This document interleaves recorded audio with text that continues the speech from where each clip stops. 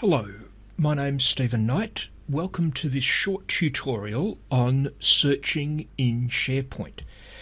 Now, one of the big benefits of putting your documents and files in SharePoint libraries versus on network drives is the very powerful search feature that comes built into SharePoint, standard feature.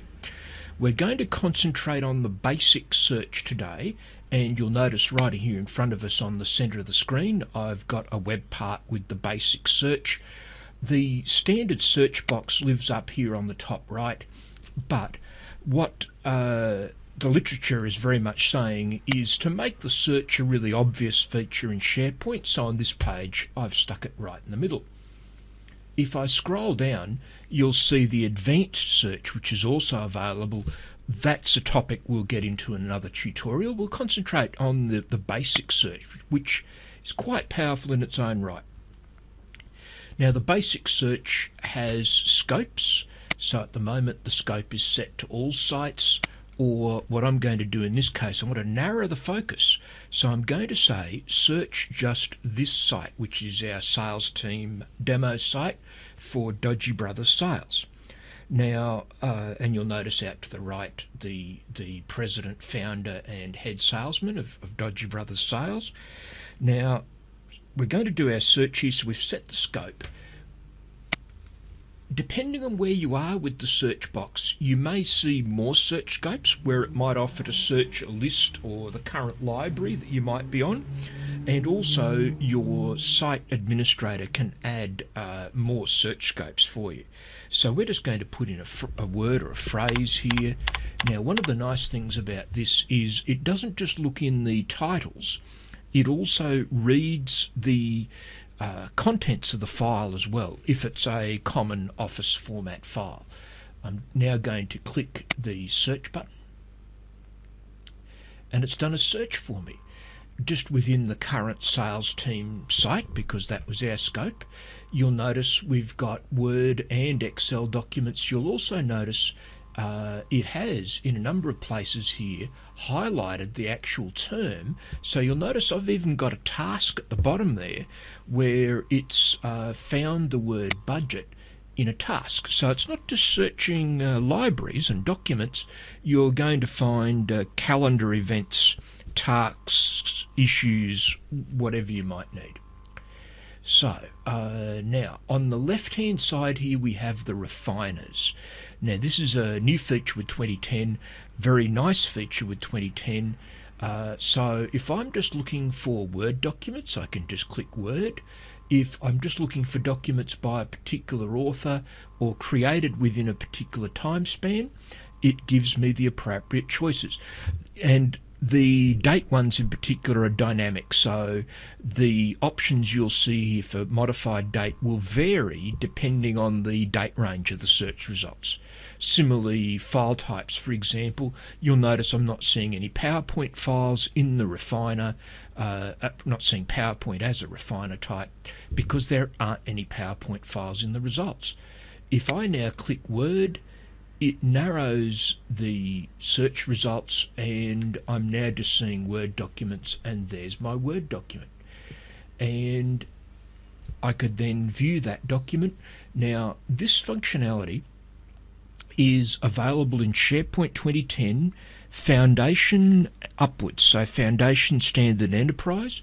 Also, if you're working with Office 365 and SharePoint Online, this is in SharePoint Online as well for those of you who are working with the on premise versions of SharePoint, that is Foundation Standard and Enterprise, if you talk to your site admins, just ask if they've installed the additional plugin. There's an additional plugin that allows SharePoint to search PDFs, where provided it's not a scan, if it was originally a digital document, Word, Excel, PowerPoint, for example, convert it to PDF, if you install the plugin, and there's a couple of variations of it, uh, if you install one of the plugins, it can actually search inside the PDF documents like we've seen it do with Word and Excel.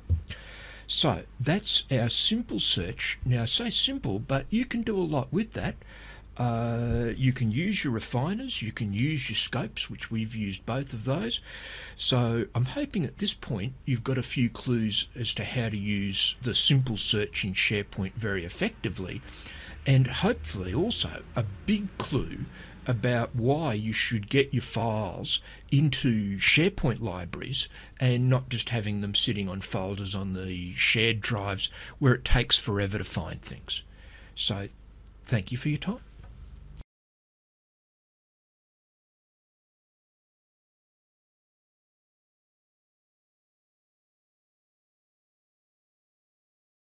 Hello, this is Steven Knight. I hope you can use the material that you've just seen.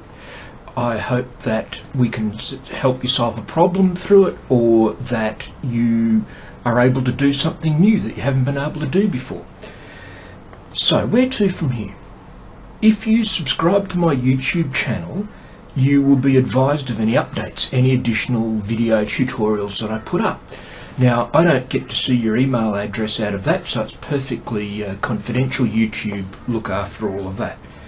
Uh, if you visit my blog, which is at trainascope.com, uh, you'll see the address in the last slide in a moment. Uh, then you'll find other information there. Uh, again, uh, updates, but additional articles that aren't on the YouTube channel. also, I am available for training throughout Australia. Uh, if you'd like some training in the subject matter of this tutorial or other things, the Office Suite, SharePoint, Acrobat, Dreamweaver or Captivate, uh, please contact me through your firm's preferred uh, training provider. I work for all the leading training providers, uh, so please feel free to book me via your your HR department and their preferred training provider. Uh, also, uh, if you visit my blog, you'll also find a link to my LinkedIn profile. Uh, I'm always happy to get feedback from people through LinkedIn, so if you've got questions about the content, uh, things you want to ask me, uh, go to my go to my LinkedIn uh, profile and contact me through there. Just mention in the contact message what what the connection is that you've seen one of my training videos, just so I know who you are. So uh, thank you for your time, and I hope you've learned something from the content today.